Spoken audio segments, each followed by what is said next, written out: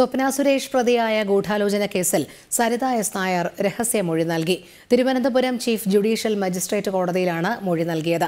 തെളിവുകൾ അന്വേഷണ സംഘത്തിന് കൈമാറിയെന്ന് സരിത പറഞ്ഞു. ഗൂഢാലോചനയ്ക്ക് പിന്നിൽ വലിയ തിമിങ്ങലങ്ങളുണ്ടെന്നും നിലനിൽപ്പിനു വേണ്ടിയാണ് സ്വപ്ന കാര്യങ്ങൾ തുറന്നു പറഞ്ഞതെന്നും സരിത പറഞ്ഞു. സ്വപ്നയുടെ വെളിപ്പെടുത്തൽ ഗൂഢാലോചനയാണെന്നാണ് സരിത എസ് നായരുടെ ആരോപണം. ഇതിന്റെ അടിസ്ഥാനത്തിൽ തനിക്കറിയാവുന്ന വിവരങ്ങൾ രഹസ്യമൊഴിയിൽ പറഞ്ഞിട്ടുണ്ടെന്നും സരിത വ്യക്തമാക്കി. വിഷയവുമായി ബന്ധപ്പെട്ട തന്നെ സമീപിക്കുന്നത് പി സി ജോർജാണ്. സരിത ക്രൈം നന്ദകുമാർ ഇവർക്കെല്ലാം ഇതിൽ പങ്കുണ്ടെന്നും സരിത ആരോപിക്കുന്നു. നമ്മളൊന്നും കാണാത്ത വലിയ തിമിംഗലങ്ങൾ ഇതിന് പിന്നിലുണ്ടെന്നും സരിത വെളിപ്പെടുത്തി. അദ്ദേഹത്തിനും പിന്നിൽ വളരെ വലിയ ആൾക്കാരുണ്ട്. നമ്മളൊന്നും കാണാത്ത വലിയ തിമിംഗലങ്ങളുണ്ട്.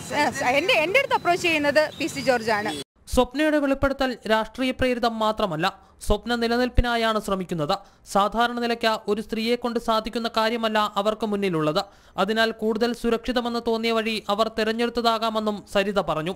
അവരുടെ ബേസ് എന്ന് പറയുന്നത് അവരുടെ നിലനിൽപ്പാണ്.